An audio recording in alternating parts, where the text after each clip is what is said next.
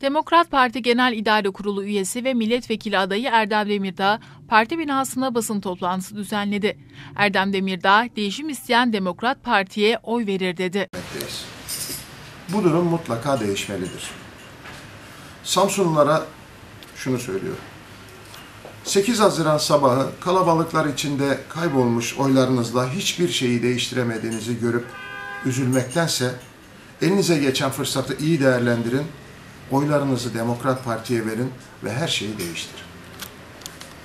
Geleceğe güvenle bakmanın yolu Demokrat Parti'ye oy vermekten geçer.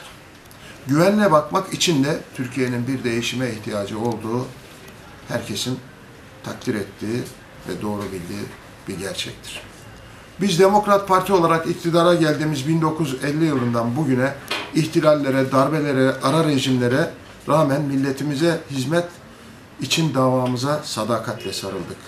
Partilerimiz kapatılsa da, sürgünler, zindanlar ve idamlar görsek de, türlü zulümlere uğrasak da yine de yolumuzdan dönmedik.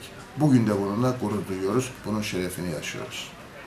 Bedeli haklı ya da haksız ne olursa olsun bu hizmetin karşılığını ağır olarak ödedik ama millete hizmetten vazgeçmedik.